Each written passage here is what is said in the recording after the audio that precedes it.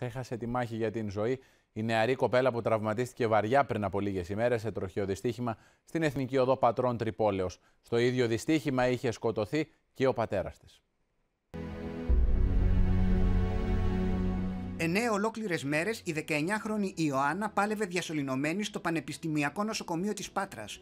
Όμως τελικά το δυστύχημα που στήχησε τη ζωή στον πατέρα της αποδείχθηκε μοιραίο και για την ίδια. Κακιά στιγμή, έτρεξε, έκανε αντίθετη προσπέραση.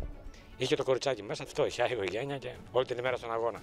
Το αυτοκίνητο που οδηγούσε ο 52χρονο πατέρας της κοπέλας έφυγε για άγνωστους λόγους από την πορεία του, αναποδογύρισε και έπεσε με δύναμη πάνω στις μπάρες.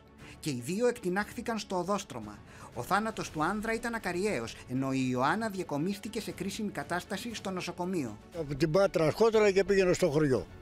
Τώρα από εκεί πέρα πρέπει να φρενάρεις απότομα και τον γύρισε πάλι πίσω. Και πήρε τούμπα, γιατί αστάθεια να πούμε γύρισε πάλι πίσω το αυτοκίνητο. Στην Κύπρο, μία 27χρονη δεκανέας της Εθνικής Φρουράς, η Νάταλη Νεοφίτου, έχασε τη ζωή της σε τροχαίο δυστύχημα κατά τη διάρκεια στρατιωτικής άσκησης. Το τζιπ, στο οποίο επέβαινε, ανατράπηκε και την καταπλάκωσε. Δυστυχώς δεν καταφέραμε να την επαναφέρουμε.